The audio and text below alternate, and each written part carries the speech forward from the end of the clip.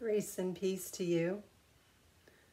I don't know about you, but this time of coronavirus has really felt like a roller coaster roller coaster of information, roller coaster of emotions.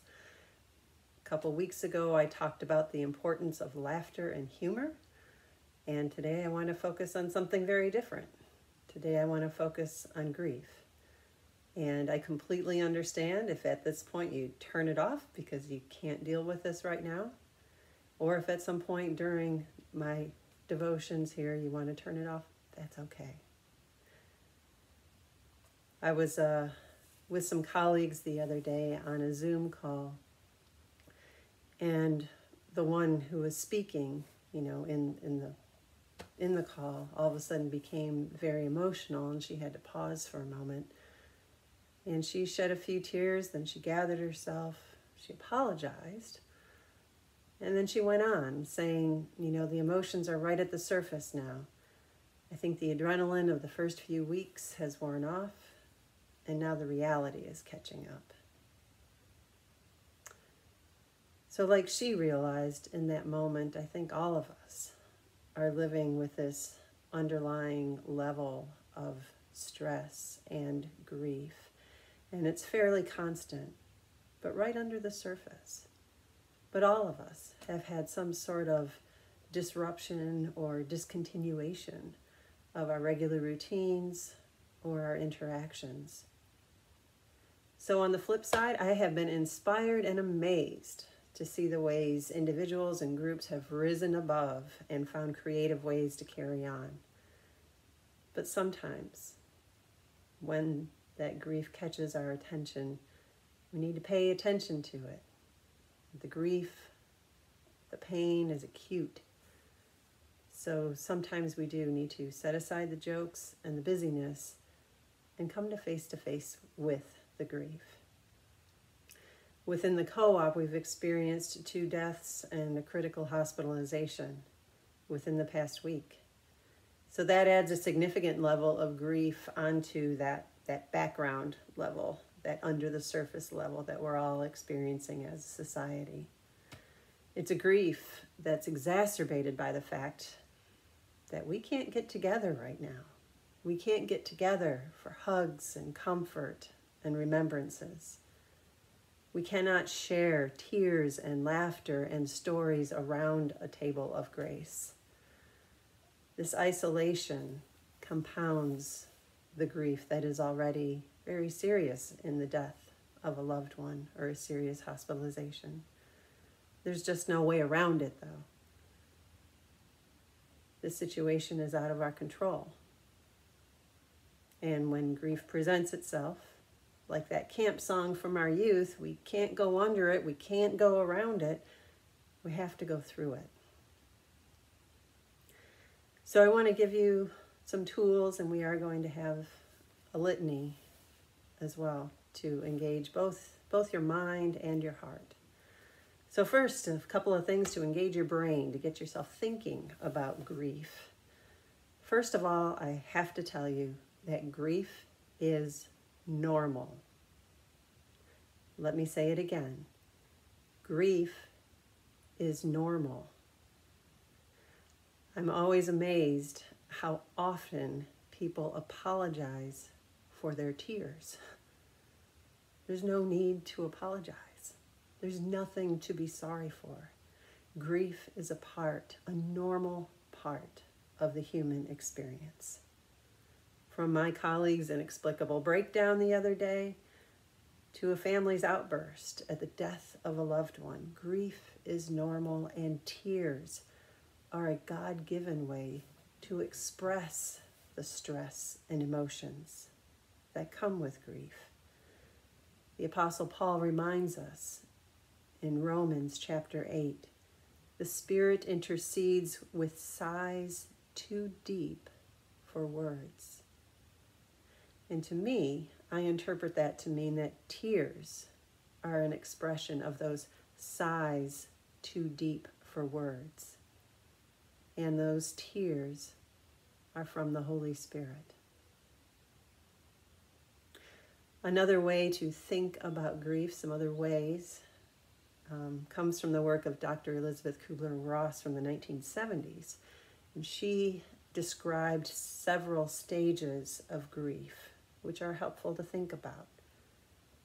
Because again, it reminds us how normal, how universal it is. The stages she named are denial, bargaining, anger, depression, and acceptance. And it's not a step by step linear progression. You might feel these things at different times in different ways, at different around the same situation.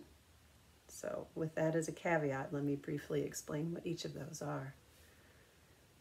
Denial is that time when what has happened just doesn't seem possible. It just seems surreal that what has been, that who has been, is now gone.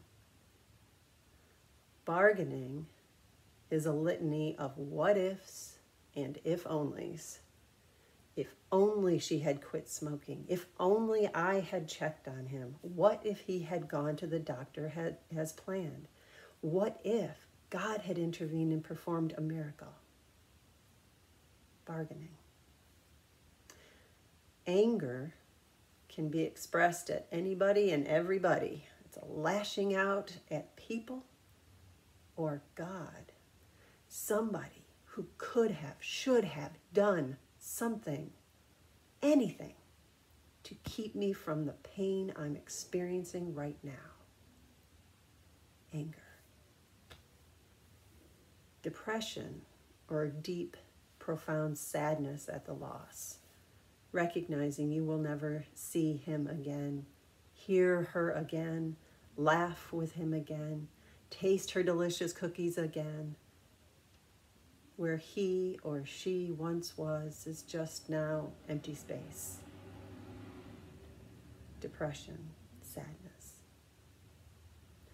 Acceptance is the place where we realize the loss is loss, the grief is real, and we will find a new normal.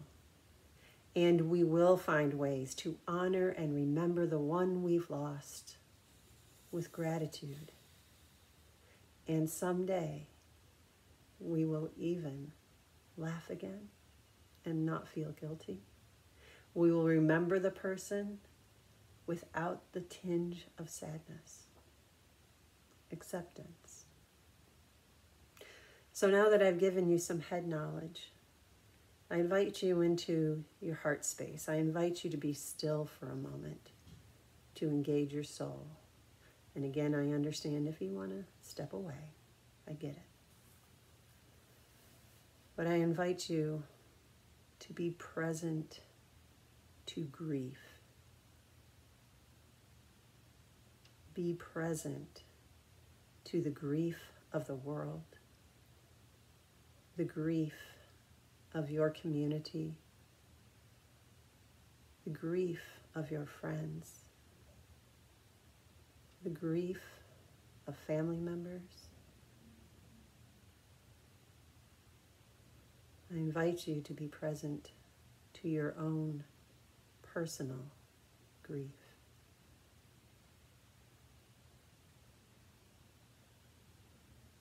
Acknowledge the grief.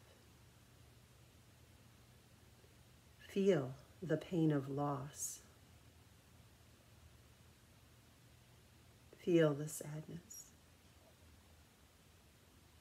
the isolation, the hopelessness.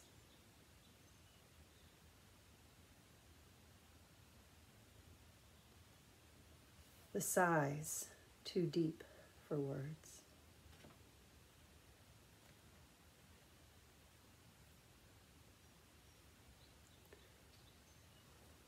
And now from that place, where head and heart, where body, mind, and soul come together, I invite you to join me in a litany.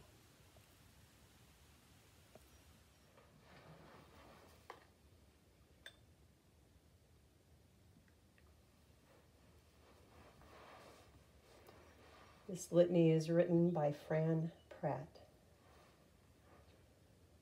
God of comfort, restorer of all things, we look to you in times of trouble.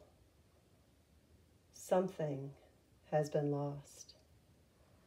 Someone has been lost whom we held dear. We feel emptiness and sadness at this loss. Comfort us with your presence.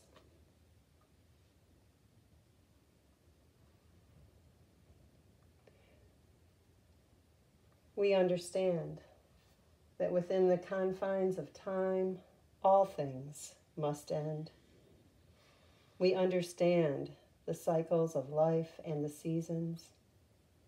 Still, we find the changes painful.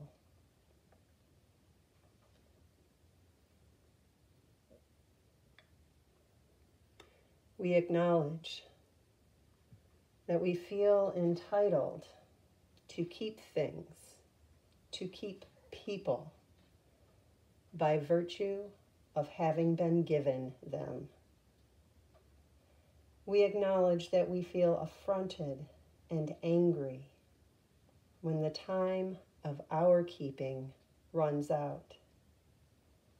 Give us grace to be grateful for the gifts of life, however long we get them.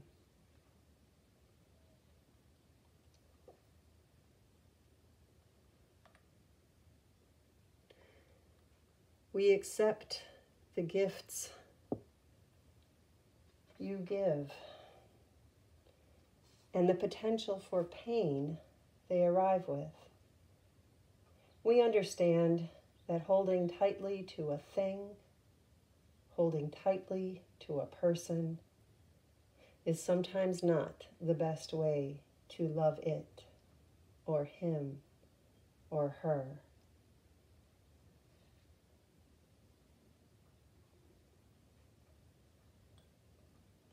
We are reminded that you hold all things in your gracious love. You are gathering all things to yourself. You have power over death, our author of life, and our first to resurrection. We trust you to care for what we have lost.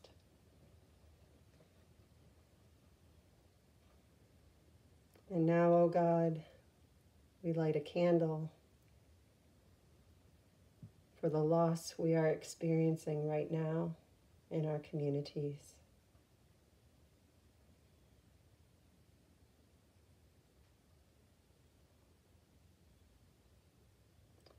And we light a candle for the loss we have personally experienced in this time of pandemic isolation.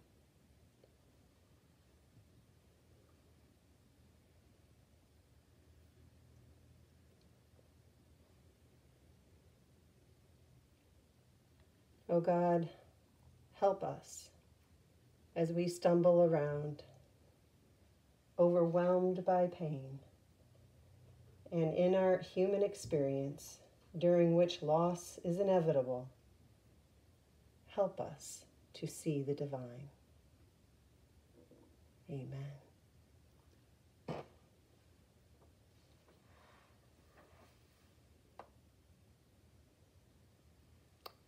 And may the God of all hope fill you with joy and peace in believing, so you may abound in hope by the power of the Holy Spirit. Amen.